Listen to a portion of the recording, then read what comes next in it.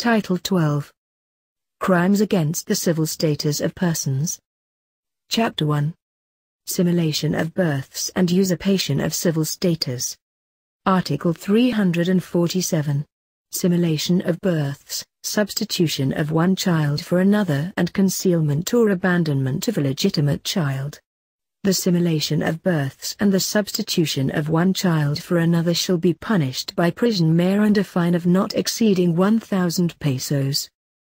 The same penalties shall be imposed upon any person who shall conceal or abandon any legitimate child with intent to cause such child to lose its civil status.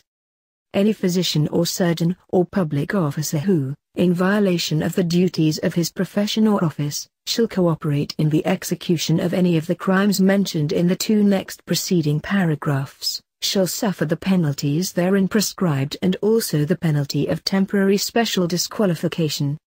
Article 348. Usurpation of civil status.